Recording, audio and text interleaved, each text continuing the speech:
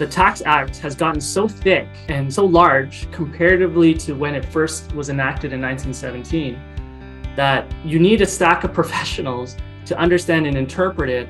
And at least the aim of you as a listener going through this is to try to educate and inform you on a simplistic standpoint of the rules so that you have an ability of an understanding. Education is always the best tool to defend yourself in circumstances, if anything. So, what's the difference between passive income taxes and active income taxes in a Canadian controlled corporation? What do you need to understand about this? How could you potentially feel the sting of additional taxation in the corporate realm? Well, we're going to talk a little bit about that today, understanding the flow of capital and income as it rolls through uh, different corporate environments. And I'm joined today with a regular contributor here on the Without Bay Street podcast, of course, uh, Henry Wong, who's got some fun stuff he's going to show us and uh, potentially very surprising things for our corporate listeners. And I think we're going to have a very interesting discussion today as we talk about the flow of money through corporate entities. Henry, thanks again for being with us on the show today. Um, where do we want to begin when we talk about the, the, the passive and the active income in a business? I, I suppose we should start with the disclaimer first. What do you think?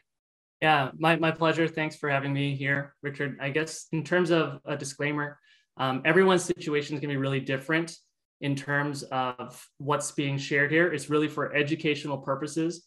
And what I'm kind of going through to talk to and what we're going to talk about together is it's going to be applied on a relatively simplistic perspective just for digestibility and understanding. Ultimately, the details are all in the Income Tax Act and the Income Tax Code that's written inside each of those sections. So um, it's always important to ta- talk to a specific tax professional on everyone's individual circumstances. There's unfortunately no uh, easy solution to a situation because the Income Tax Act is so thick that there are many exceptions that are available and that's why it's really important to have a professional look at your individual circumstances, especially in the corporate environment.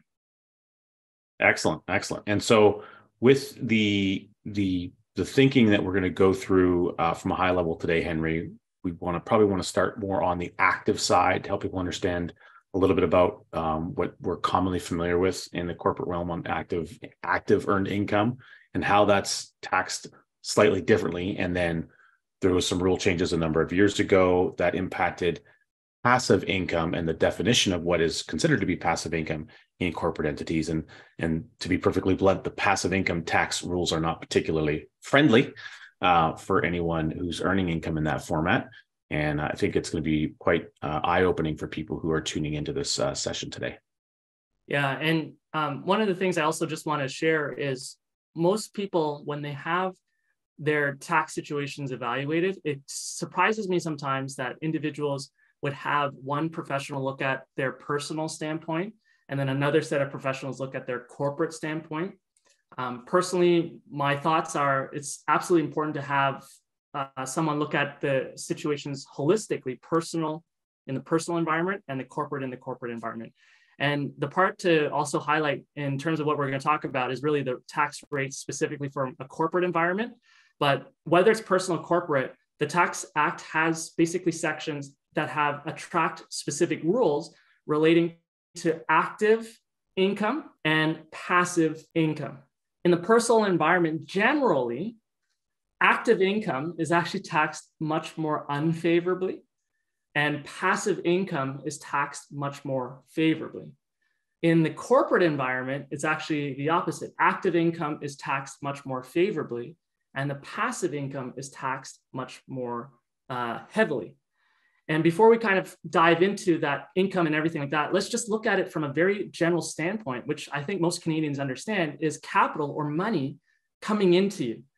Now, how each individual or corporation gets capital coming into them is going to be different. If it comes in the form of a T4 salary as a personal, or if it comes in the form of some commissions or some uh, sale of a product or sale of a service, that's a different way. Or if it comes in in the form of a dividend. And in the book that you know uh, we are launching, "Keep Taxes Away from Your Wealth," the definition of that income is absolutely very important because that's going to attract a different set of rules when it comes to taxes. But specifically, we're going to talk about that corporate environment. And the question that most people will rise or kind of ask when it comes to um, planning for their capital is well, when should I incorporate? And a very important question to really understand when capital is coming into a corporation is actually when you should bring that capital into the corporation. And the first question you actually have to really understand is why would you want to bring that capital into the corporation? And what are the benefits of incorporating? The first element that I first want to highlight is when you incorporate capital, the flow of capital into the corporation, it gives really good reasons to help you defer, not minimize, not exempt. Okay, so defer the taxes in the future. You get taxed at a generally a lower rate, depending on the type, but it allows you to have much more control and flexibility to defer the taxes from a personal standpoint. The second reason is to divide it. Now, you can possibly divide some of the capital amongst your personal environment and your corporate environment when you allow that capital into another legally structured entity accepted by the Income Tax Act. So you can potentially minimize the amount of taxes and you pay, especially from a concentration standpoint, having too much income coming in one year. The third general popular reason is to take advantage of deductible expenses. So you have, let's just say as an example, you have an active business that is generating income. And one of the tools you use is cell phone, and you have a cell phone bill, and that helps you generate income. So it's part of an expense you need to incur to generate that income. So you can take advantage of minimizing your income with deducting the expenses. And therefore, your overall taxes you would pay would be lower because you're applying expenses you were eligible to do compared to when you're an employee. Uh, employees, expenses like a cell phone bill are not eligible deductions when you're earning a T4 income, believe it or not. That's just written in the code. There's other things related to limiting your liability. And then you know, I'm not going to talk too much in terms of details around that, but there's strategic reasons why you have corporations in place to separate the liability from your personal standpoint. And then the last one is called succession planning and wealth transferring. And a lot of the times, a lot of the entities of a business or your activities that you go through are earned and structured inside a corporation. So you can transfer it to your successors. Now, when you transfer it to your children, believe it or not, it actually results in a taxable event. And those situations also have to be planned for in the future. However, the mechanism of a corporation assists that process a lot better. So that's just generally the main reasons why people incorporate. Those are some very good high level bullets. Uh, you covered a huge gamut uh, with that. I think just in that you know few kind of paragraphs of uh, understanding on what are the real key advantages why people seek to trans- transition from um, a, a, personally income scenario to a corporate income scenario um, many many different uh, possible advantages there. Again i say possible because it depends on your unique circumstances and, and how you're operating uh, in your business structure. And you know most businesses in, in, in canada and certainly even in, in the united states you know they're not these monstrous companies that have you know 200 employees in them. They're typically you know uh, maybe a husband and a wife or or what have you a very small family operated business with maybe a, f- a few employees or even just that individual person almost as a contractor so the bulk of businesses are really just just an extension of that individual actively doing whatever work they're doing and now just earning the revenue through that corporate entity yeah and um, one of the main things that people get attracted to, or what's the most, um, I'll say, marketed feature of a corporation is it pays lower taxes. Now, that's not always true. And it's absolutely really important to dive again into the specific circumstances, especially on how you are receiving that capital. And that will actually set some things forward. But before I dive into that perspective too, once you introduce one really important thing that listeners need to know is once you introduce um, a corporation, cost and complexity becomes much higher. People have this misconception that uh, I have a corporation, even though it's empty or whatever it is, um, when I need to file taxes, the, the tax professional will, will charge quite a higher amount in terms of professional fees to handle and manage a corporation because there's actually a set of other responsibilities that people may not be as familiar with. So the professional fees actually go up. But when you introduce a corporation into your wealth building environment, like I mentioned, the professional fees go higher, and that is including the services related to tax filing or compliance. You know, um, corporations, if they have a December year end, need to file their taxes by June. They also have other additional requirements uh, like legal. So, from director resolutions or meeting minutes, when it comes to, let's say, declaration of bonuses, they have to be documented in a legal document like those. And let's say, as your wealth journey becomes or starts increasing, and you are looking to kind of diversify or you know strategize things in a specific way then you're going to engage other professionals in a more advisory standpoint like tax and also a tax advisor and also a tax lawyer. So when it comes to the all-encompassing costs even though they can bring down the burden of taxes that you may pay to the government some of it will still go in terms of a capital outflow to pay for those services. So you have to look at it on a holistic perspective. And you know, the biggest flaw that I would just kind of first share, at least from an entrepreneurial standpoint, is if you're looking to build a business before you get legal of creating a corporation, at least start with making sure the business that you are uh, conducting and going through is at least viable. And once you can earn the level that is viable, then you consider structuring the activities in a corporate environment. And this is by no means at all uh, any advice. But if you your business is not performing or earning the level of income, it makes no sense to incorporate right away. That's my personal opinion because you're outflowing capital first without an environment and you've already you know engaged professionals and whatever to set it all up. But your business is not even supporting that cost. So it's not there yet. So the first part, just as a general number, not exactly the number, but just and not advice. When you reach the level at, of that activity that's earning that can consistently earn about 100,000 is when you can, in my opinion, think about wanting to incorporate, or at least start the conversation.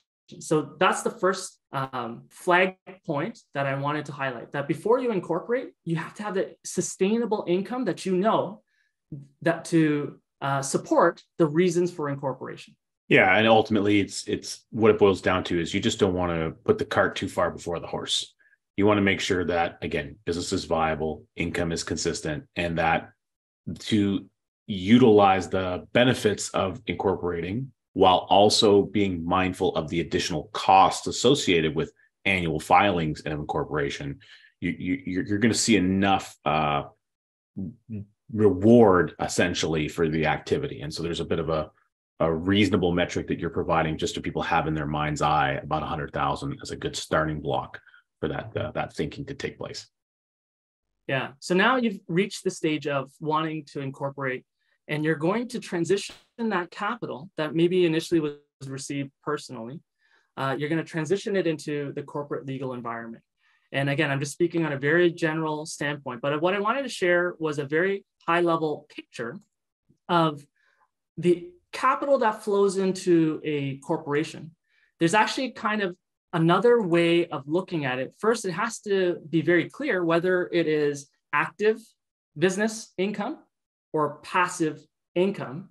So those are the first layers of categories to understand that source of income. How is it come? How is it coming? Or the definition of that income.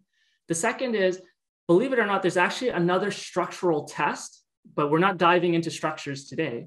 But structural test that that income has to flow through, and depending on how it's earned. So here, as an example, I'm going to share my screen. So the first part is that capital coming in, let's just call it business income. As that capital is coming in, we've got to make sure and understand how that capital is labeled. So if it's coming as dividends, as an example, and you want to st- structure the dividends in the form of a corporation, um, that may fall into the definite, that most likely will fall into the definition of specified investment business. And because of that falling into that definition, it's going to attract a specific set of rules, which is taxed in what I will call now investment income. Now, let's just say you have business income and you are a contractor to one company only. And when you are a contractor to one company only, now there's specific sets of tests that have to be that have to come in play you may be considered a personal service business. Even though you're offering a service to only one company, you may be a personal service business and you will not get the advantages of a specific tax rate. Now, you may cut before, so the first actually test is to make sure you don't fall into either of those categories as a specified investment business or a personal service business. The last category is what everybody usually expects as what they normally hear and want to hear, which is you have a set of activities through sale of product or sale of services. You want to be an active business. And as an active business, if you're a Canadian controlled private corporation, otherwise known as a CCPC, you get access to what's called a small business deduction. And why do you want to be a CCPC with a small business deduction? Well, let's kind of dive into some of the reasons why, when you receive that capital coming in, what the differences would be. Now, as a specified investment business, generally the tax rates would be 50%. Personal service businesses, you do not get a small business deduction, you don't get a general rate reduction. So your tax rates are actually pretty close to the marginal tax rates. And the active business is what will give you those uh, reasons. And the first thing is if we talk about the personal service business, you know, I just want to highlight that these rules were newly introduced, not newly introduced, they were introduced for a reason. And the reasons, let's say for a personal service business, at least for the Income Tax Act, why it was introduced is they wanted to prevent Canadians to pay less taxes at the corporate level versus personal. So they're like, oh, I can incorporate my service earnings. Um, let me let me let me do that so I can pay less taxes. So that's that's kind of the first thing. Richard, anything you want to add? Yeah, I mean that's very common, especially in the uh, you know you mentioned contractors. So typically in the trades environment, you have folks that are you know, plumber, electrician, uh, welder, gas fitter, etc. A lot of times, especially like you know in Alberta, the in the oil industry, they often allow uh, individuals to contract themselves to a larger company and something called a direct direct service provider. That measurement of if you're only contracting to one company, that's where the issue becomes. You might have the ability to go tr- contract for someone else, but if you don't take on any other business and you spend the entire year with only one client, you don't really have any other little clients or little jobs that you do, you might fall into that category where now you, you're really viewed as almost an employee of that company, even though you're not. And so therefore they're going to say, well, really, you should be paying a tax that's more equivalent to like the employee and hence you know you, are going to get into some some potentially hot water there. And that's a less understood uh, area i think and you know uh, maybe some people are fine with it but there's a scenario with cra where they have this ability to like go back in time and look at things that happened in the past and then reassess individuals. So something to be very mindful of. Um, even for myself i have a i'm a recovering electrician by trade so i'm familiar with that type of activity and in my past life and uh, you know it was a very it's a very common practice especially you know again in, in an oil field or you know commercial contracting type perspective. So you want to make sure that you're serving more than one main client or more more than one client period uh, throughout a given uh, tax year i would think is is one of the things you want to be mindful of. Additionally to that what i would say henry is you know the the idea behind this is that there's something in the tax act that's referred to as general i believe is general anti-avoidance rules or and so that effectively it's supposed to mean that regardless how income is generated at the end of the day the result should be after all the smoke clears and all all the deductions and different tax rules and different this and different that have been implemented in theory an individual taxpayer should end up paying effectively the same amount of tax when it's all said and done. Is that kind of the general premise of what the GAAR rules are all about well, their definition expands into the taxes you have to pay is fair. that that's a very uh, broad definition that leaves them the scope, in my opinion, to allow themselves to challenge the individual citizen um, on the circumstances of I don't think your income that you're paying is fair. Sorry, the income tax you're paying is fair, and that will trigger um, a whole set of actions that come that gets disputed and challenged in a court environment. And so um, they the there's they also use very general language like it has to be in the spirit of again fairness or in the spirit of reasonableness. So these are very important pieces of language that they've created a general blanket assessment that if it's not considered fair, it gives them the ability to um, challenge you on those circumstances. So uh, it's coincidental that my idea, or perhaps our listeners' idea of what is fair and what the um, the tax authorities idea of fair may be very different and so that's where some of the the onus the onus on our tax world at least in canada is always on the back of the taxpayer so it's it's on you to be able to justify the reasonability of the things that you're doing when it comes to declaration of income deductions that you're taking etc so what henry's about to walk us through this is all very um, I mean, these kind of statements are preempting, I think, the discussion that we're that we're walking into. Yeah, and it's also important to know that the Tax Act has gotten so thick and so uh, so large comparatively to when it first was enacted in 1917 that you need a stack of professionals to understand and interpret it.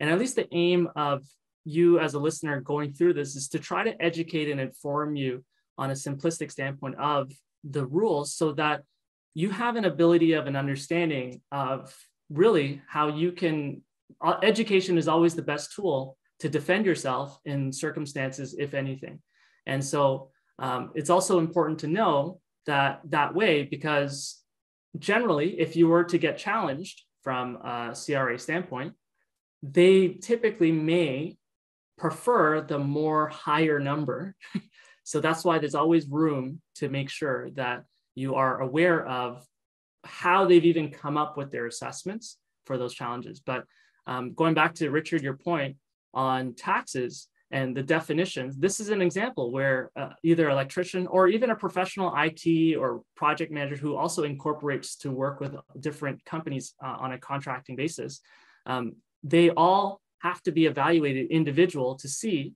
whether or not they would meet the definitions to incorporate so that they don't fall into what's called that personal service business. So that was just that one rule there.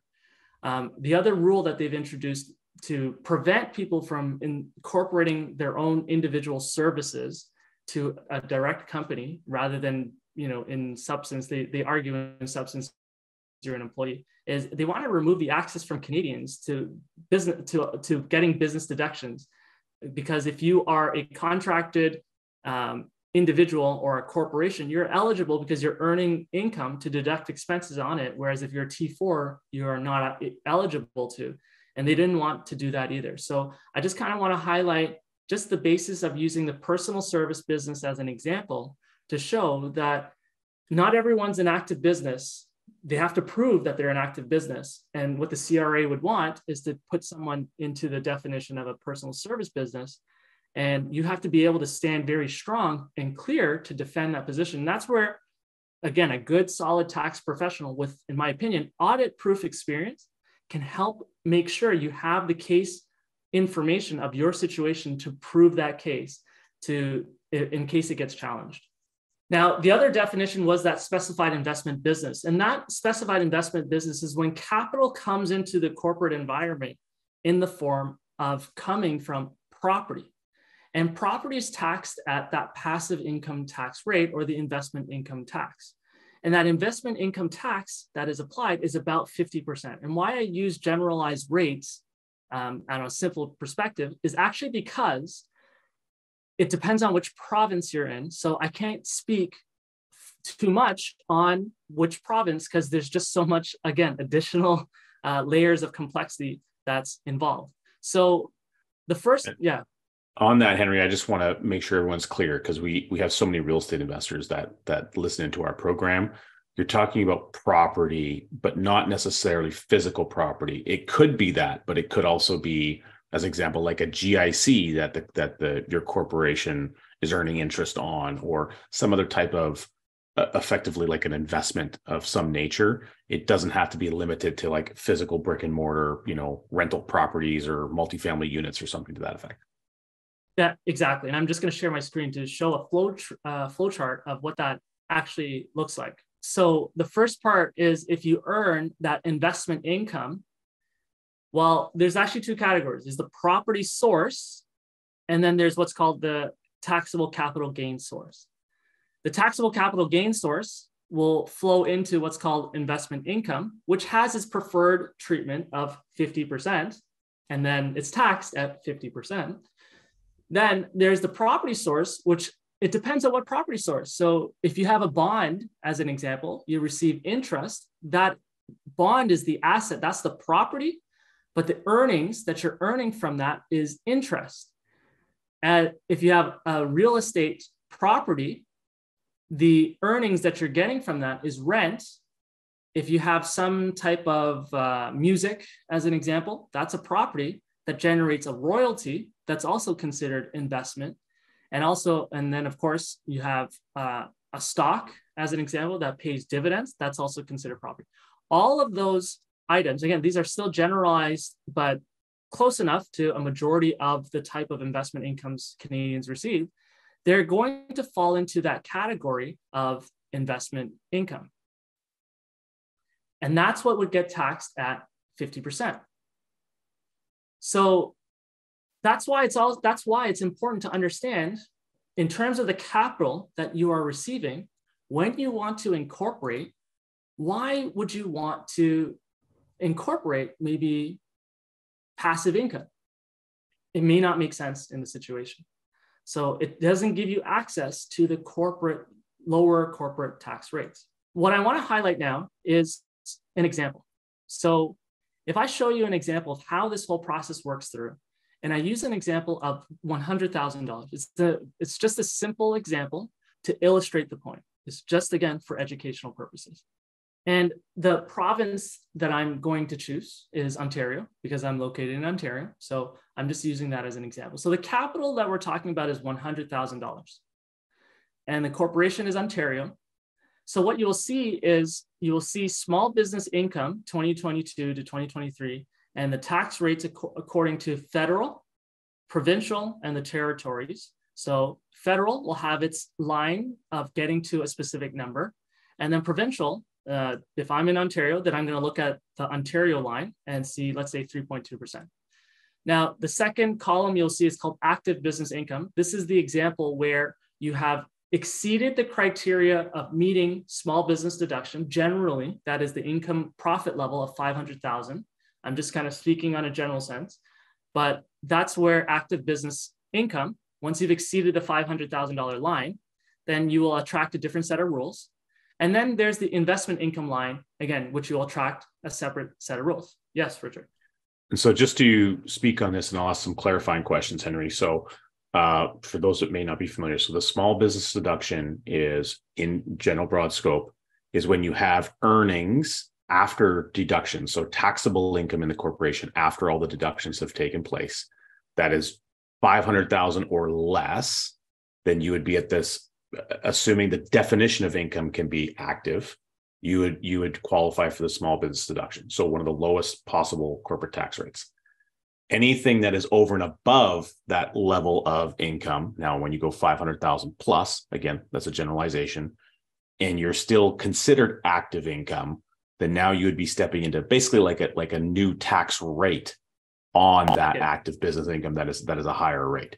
It's still in in a large degree often more beneficial than if you were earning that that same equivalent amount of income on a personal T4 basis. There's a there's a substantial difference. But just to, to quantify, we're talking about the small business deduction, 500,000 and below ish, and then active business income continuing that's over and above that 500,000 small business deduction limit. Yeah. Um, and just to kind of expand on the small business deduction, there's actually other criteria. The most popular ones that Canadians understand is that income level threshold, 500,000, but there's also a passive income threshold, which we'll dive into today. And there's also a capital, a deployed capital in Canada level um, that you know very few people actually think about, and this would highly impact heavily, uh, you know, machine machinery based companies like uh, like farms or manufacturing. So those are other just considerations to be mindful of. We're only speaking of just one criteria. We'll speak about two criteria today, but like small business deduction is not as simple as just a standalone 500,000 and below that I should have a small business deduction. That's not true. So what you're saying is uh, I'm not a fan of tests or testing a whole heck of a lot, but basically every single thing that you do is going to be scrutinized under some barrage of testing when you submit your tax return, a corporate one or a personal one, and it's got to run through these filters and they're going to apply these these various tests to how the income is being portrayed and then they're going to make a decision based on that portrayal or whether you were right or not. is that kind of a good way of looking at it? Well, Richard, if I say it in this way, you kind of have a supervisor in your success. there, okay, got it. Yeah, the CRA supervisor is gonna gonna gonna gonna check my work. You do have a supervisor that needs to approve. you have to make sure you have met those criteria to be approved. Okay, 10-4. Let's let's let's proceed with the uh, the next part of the example. So going back to the example that I'm sharing, um, using the 100,000 as the example in Ontario. Um, so the first part I want to dive into the rates. I'll use 2023 and beyond. So 38% is the general corporate rate. This is really important for people to, to capture. You actually have a 38%, but there's a federal abatement. I'll just kind of call it like a refund or a subsidy of 10%. So your corporate tax rate is 28%. Now, you've met the criteria of being a small business deduction. That means you've granted access to an exemption of 19%. So your effective corporate tax rate is actually 9% now. So now you have 9%. And because you're located in Ontario, now we go to Ontario, 3.2%. So in total, your tax rate is actually 12.2%. So on that $100,000 of active business income in a small business environment, you pay 12,200 of corporate taxes. And just to clarify again, this is assuming what's what's the taxable income uh, aspect. So you maybe you made maybe you made five hundred thousand dollars in revenue. You had to pay some salaries. You had to pay for a whole bunch of equipment usage and and other various deductions. And what's remaining that's actual taxable income is that hundred thousand dollar level. Now, I, I'm using 100,000 as the example, but it it's a little bit different, but I'm just using it to illustrate the table. So using, you've crossed the, you don't meet the small business deduction reason. Okay, let's just use an example that you had a far excess of passive income or you had too much invested capital uh, in machinery and equipment. You are at 30, again, there's the 38%, you had the 10% uh, abatement, and then so you have 28%. But now you do not get that small business deduction exemption or rate, which is now zero, but you get something called a rate reduction, which is 13%. So now your corporate tax rate has increased from 9% to 15% at the federal level. Now, that's not just the federal level that this gets applied to. When we go to the Ontario level, Instead of 3.2%, you've also increased to 11.5%. That makes your effective total tax on that capital that you've generated um, after expenses. So your property and I'm sorry, your expenses and the revenue that you earn, your net taxable income, you pay, you earned 100,000, but because you didn't meet the small business deduction, you're now paying 26,500 in taxes, uh, a 26.5%. Now, let's contrast that now to the type of capital still being 100,000 and it is now investment income in the property sources or capital gain uh, property sources that I've shared with you earlier. So 38% subtract the 10%, so you're at the 28%. You've lost the small business deduction. And this is the key. that I wanted to first draw to every listener's attention is instead of a rate reduction, you get a rate addition. So it becomes 10.7%. And so the federal income tax on investment income is 38.7%.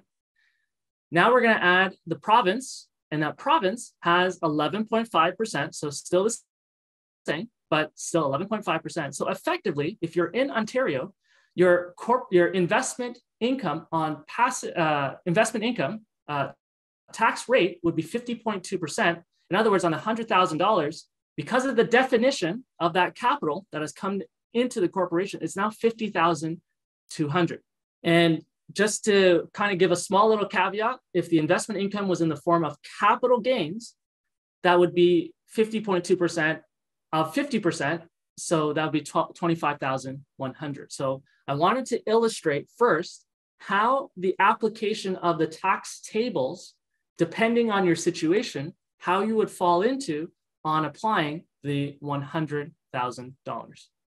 So just to walk through that a little bit uh, on the investment income side, as an example, you have a real estate investor. They, after all the taxes, they've got a large portfolio. They've generated $100,000 of rent. That's again, after all the deductions and everything, they have an additional $100,000 of, of rent that's now taxable.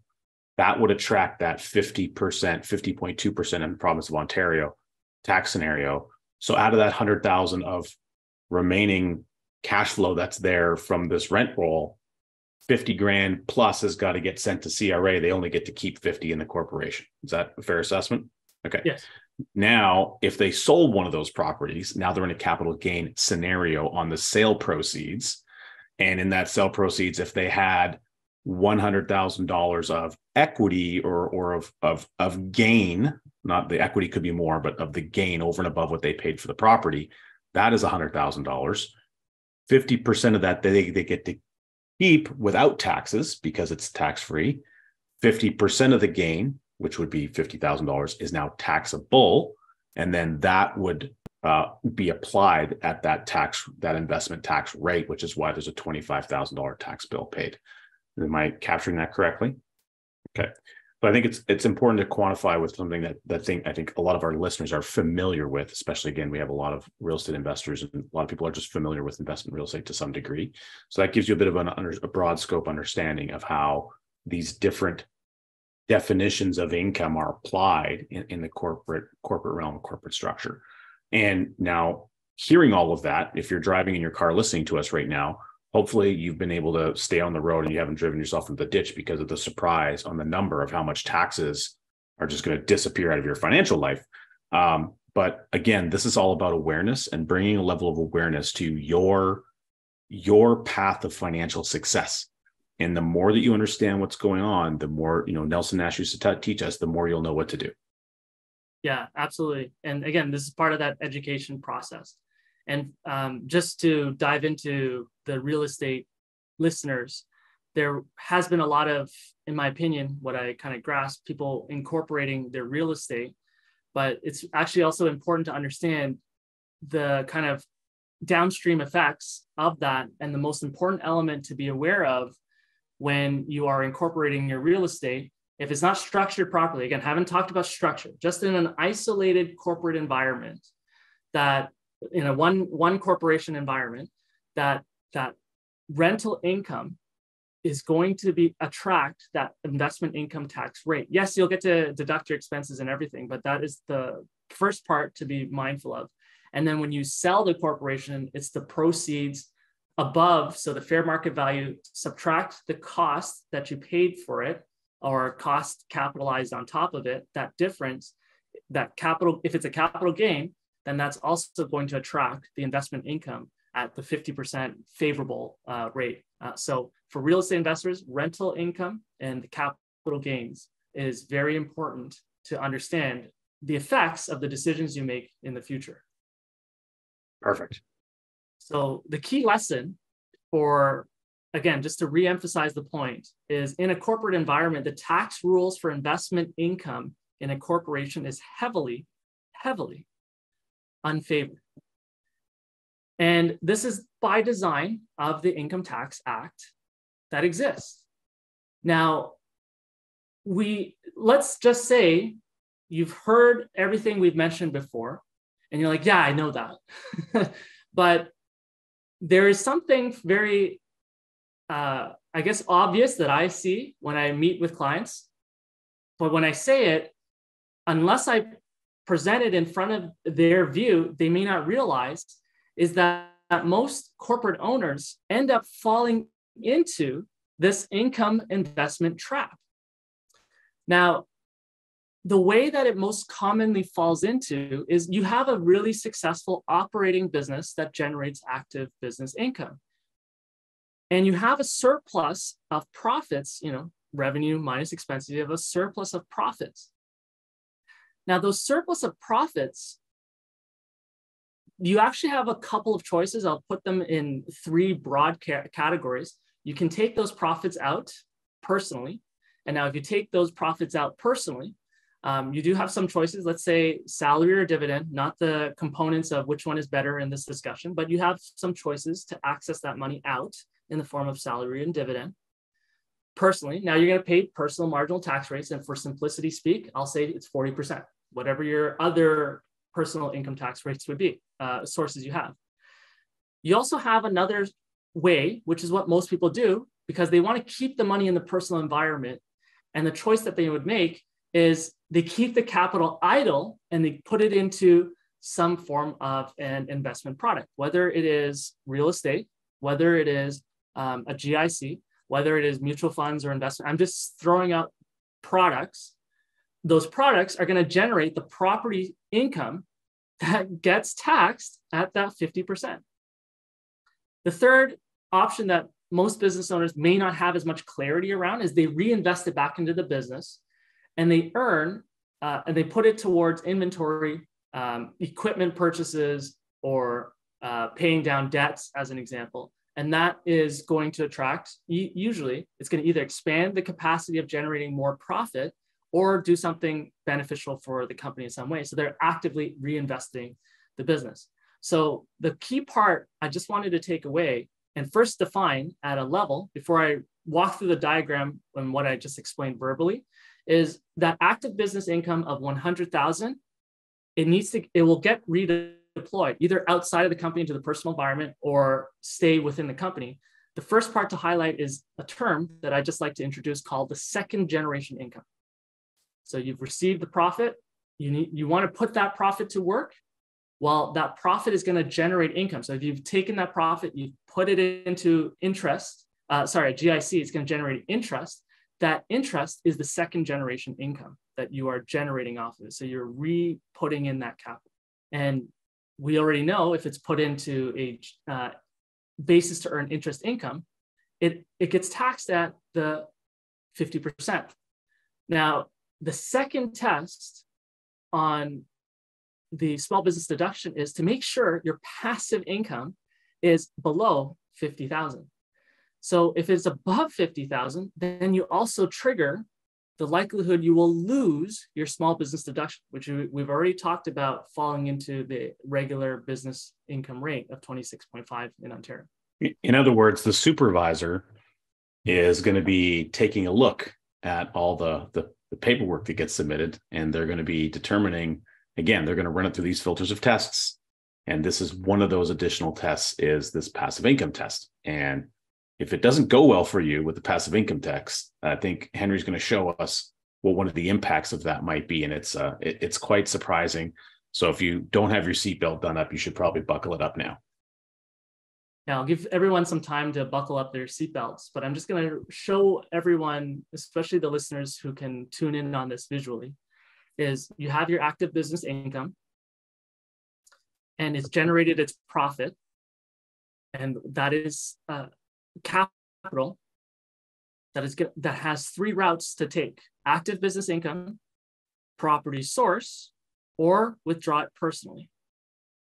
Now we've already established if you withdraw it personally, it'll get taxed at personal marginal rates. If you put it into property, it'll get taxed at 50%, but there's also a sub impact that um, is very, that what I'm gonna illustrate a little bit later, which is losing the small business deduction And then the third option is redeploying it back into your business, an active business. And you're like, oh yeah, that's obvious. I'm, I'm going to give put it in the location that is the best return. Uh, I believe that everyone believes their business is the best, so they're going to put it back into the business to regenerate more profit.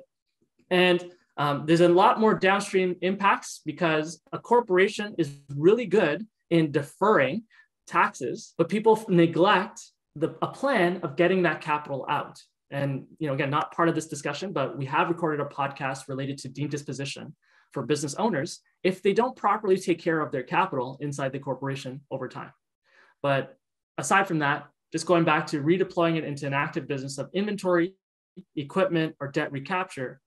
Now the reason why i want to show this visually is in terms of the income tax act the system that has been designed you can clearly see biases or is designed intentionally to control your behavior in a way to prioritize active putting it back into your business for active business. Again if you neglect it in the future there's a very big consequence. And i really encourage you to watch that pod or watch or listen to that podcast. But you can see the other two routes are generally not as favorable. So that is how the system has been designed for the um, income. So let's walk through a very good example to illustrate what I mean by this. And this is where I really hope you your seatbelt on. So let's assume you are a corporation that earns business income of 300,000 and you meet the criteria for small business deduction. You have no investment income.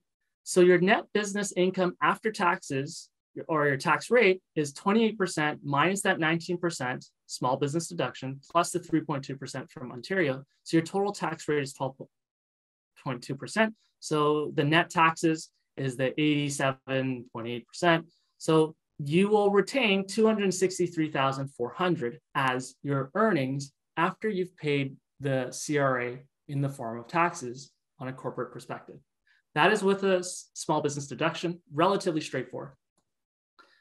What if you lose the small business deduction? So here's what that would look like. You have 300,000 as business income and you have investment income of 100,000. All right. So now what I want to show is walk through this alternative situation where this business owner has earned an additional investment income into the corporation of that $100,000 and that outcome of it. So if we look at it from the standpoint that net business income after taxes was is 220,500. If we take the 15% from the previous tax table plus the 11.5 from the provincials, 26.5%, the net amount of capital retained is 220,500, which clearly you can see is less than the one previous, which is 263,400 from with that small business deduction. That net investment income tax after is 50,000. And this 50,000 is that 50%. And for those of you who don't know, that small business deduction rate in this circumstance is lost because the business er- owner earned 100,000 in their passive income, which is greater than the 50,000. And that now they've lost small business deduction. This is why they have that higher tax rate. And so cumulatively, after the taxes have been taken off on the 400,000 in capital that is earned, the business will now have 270,500. So if we compare both of the situations together, the one on the left is the one without the investment income of 300,000, no investment income, and then the net after tax is 263,400. So the tax to the government was that 12% of 36,600. The one on the right is 300,000, investment income 100,000, and net after taxes is 270,500 where the taxes to the government was 129,500. So for an extra 100,000 of investment income, the net gain between the two was a mere 7,000, you know, rounded nice 7,000. Isn't that insane? what comes up for me, Henry, when I see this is that um, effectively again it's like a it's like a penalty or like being penalized for what you're what you're doing you've you've you've made investments you've put money to work you've done it to grow your wealth to grow everything now for every you're only seeing 7 cents of every dollar in investment income that you earn so you got $100,000 but you only actually saw a net of 7,000 that means you only got seven cents of every dollar of investment income that you earned that was actually available to you and your family. You did all the work, you put it all together, someone else got all the money. And now contrast that to again being able to put that if if that investment income or that that that gain was occurring inside of a tax exempt vehicle where it didn't impact that small business section, it didn't create this this ripple effect, you'd actually retain a lot more of that capital for your working usage and to be able to transition on to the next generation very effectively. This is where one of the advantages of again incorporating Nelson's principles of becoming your own banker, the utilization of the, the very powerful tool of par- participating paying whole life insurance becomes so beneficial um, to, to the corporate owner in this type of environment. Imagine that. Just imagine for a moment. You did all the work, and only seven cents of every dollar that you did the extra work for, you got to keep how more, how often would you continue doing that work and that labor and that effort? It's effectively a success tax. It's saying, don't be too successful. We're going to take everything you earn. And, and so that it, it really goes against incentive uh, to, to go and operate in this format um, and earn investment income in this way. So I think what you're showing people here is, is really dramatic. And it's very important that they, they clearly see and understand the importance of how income is received and knowing the timing and understanding of when you're going to have these uh, investment income events and how that could have a dramatic impact if you have an active business earning active business income and that's where this if if you're if you have a single corporation and you're you're merging these two types of incomes together this is really where you get into i guess the the danger zone uh cue the kenny loggins music here uh is where you get into the danger zone of how much money is going to disappear out of your family's hands.